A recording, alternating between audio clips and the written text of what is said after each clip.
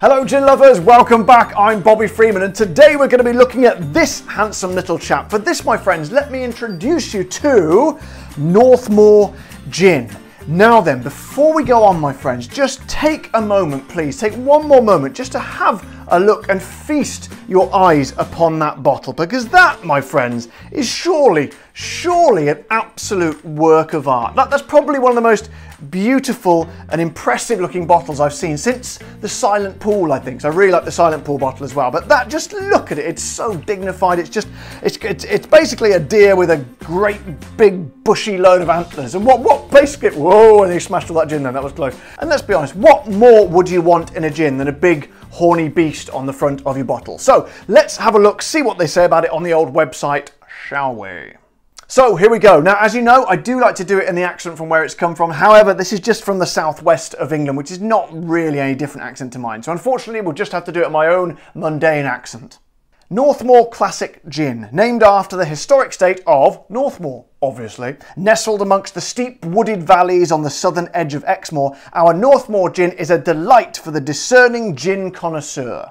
Light on the lips, this full-bodied gin with a 44% ABV Get in! Has a punchy three-dimensional taste, leaving a deliciously smooth flavour at the back of the mouth. And that is exactly where I like my deliciously smooth flavours. So let's not fanny around anymore. Let's get some in the glass, shall we? So here we go. Let's open her up, pull that off. And do we have... Oh my goodness. I think we have... We haven't done a cork test for ages, but my friends, I think we have a cork and we know what that means. It's the cork test. So, oh, I'm very excited. I don't know, for whatever reason, we haven't done a cork test for a long time. So, first of all, do we have a squeak? No squeak whatsoever. It is a completely silent turn. So let's go for the full pull, shall we? Here we go.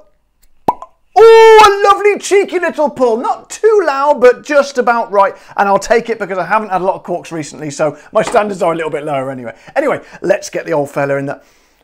Oh my god, I was just going to say get it in the glass to do the sniff test, but holy shit. I got a little bit of a, a, sort of a bonus whiff as the bottle came past me, and oh my god. Hang on a second, let me just get it to a, a sort of a, a, confirmation whiff. Hang on, or a whiff, some people prefer. Hang on. Oh my god. Oh my god.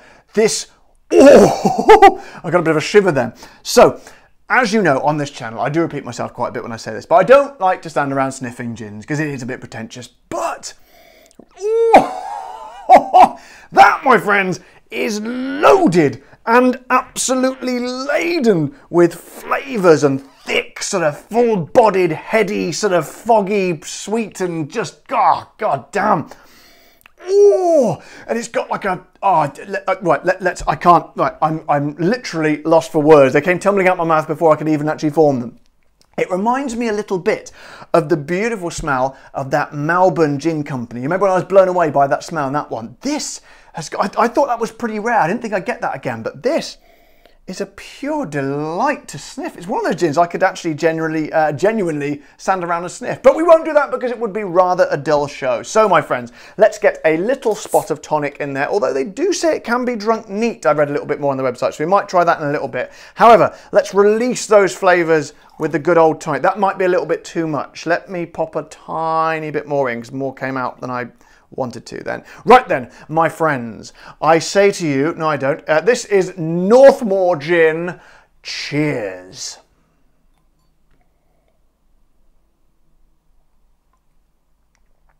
Whoa! I think it might have been the perfect measure first time. That's a little bit strong, but good God, that, my friend. You know what? I can tell, I can see why they put a stag on the front because that is a strong beast of a gin, but a, a pleasant one. It's it, it's just like it's very it, it is a little bit stronger than most gins at 44%, just tiny bit stronger, but that makes a bit of a difference. And you know what? I like a gin with balls, you know, if you'll pardon the rather clumsy expression. It's really sort of grabs you by the, well, by the balls, I suppose, really. But it sort of, as soon as it goes in your mouth, it's like, it's like a grunt. It's like sort of an angry, not an angry, a confident grunt of strong uh, strength ABV, like a strong alcoholic taste, but backed up with kind of heady sort of earthy tones that are kind of like, I think you would describe it as full bodied if I was a little bit more flamboyant a person. But hang on, let me have another go. Uh, uh, uh,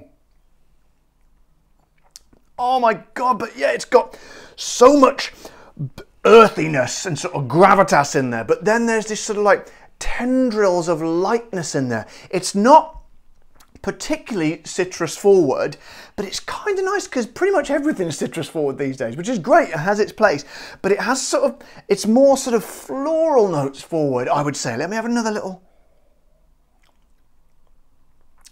Yeah, kind of more floral, I'd say. Maybe a tiny touch of pine as well, but it's just, oh man, it's a brave, confident gin that just knows what it is and it does it very, very well. And like I say, it, it sort of puts me in mind of the sort of the strength, yet the sort of the uh, sophistication uh, of, of, a, of a beautiful big stag with, with gigantic antlers. It's getting a little bit bizarre, I know, but that's, oh God, that is beautiful. That is an awesome gin, my friends. Not a very well-known distillery. I'm sure some of my um, subscribers further afield around the globe, particularly in the United States, may not have seen this one. However, that, my friends, is one to watch.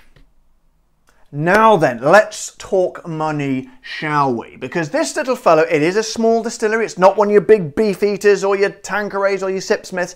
It is a small one, so they are going to be a little bit more. However, not too much more. So £35 that is for a 70cl bottle, so it's a nice big bottle. So that's okay. That's not too bad. That's one of the ones, I that, that sort of price range, I don't mind paying a little bit more for it to support the smaller distilleries, provided it's good. And that is good, my friends. That is a very good gin and definitely worth that little bit more. So 35 pounds is what, about $40 or about 37 euros, something like that. Um, and I am quite happy to pay that any day of the week. Because as I say, sometimes you do need to small, support these smaller guys. Otherwise, what, you know, what, would it, what a boring place it would be if we just had the big mainstream gins, you know. And how many gins would you would look quite so handsome on your shelf as this little fellow, my friends? Not many, not many. So my friends, if you're looking for a new gin, a different gin, a real sort of gin that's got a bit of strength and to it, then you could do a lot worse than getting this one. So have a look on their website. I'll put a link to it in the section below and check it out and see what you think. They also do a navy strength one as well, which I'm very, very excited to try because that one's pretty kicky as it was. So the navy strength is going to be like, you know, sort of both barrels right in the face, if you'll pardon the rather clumsy metaphor. But um, anyway, guys, if you have enjoyed this video, please, please, please, as always, don't forget to subscribe to my channel, press the little like button and press the bell icon so you get notified when all my new videos come out. And of course, check out my Patreon page for all sorts of exclusive content and things. And I will see you all next time on No Nonsense Gin Reviews, where I shall be Bobby Freeman. Thank you very much. Bye-bye.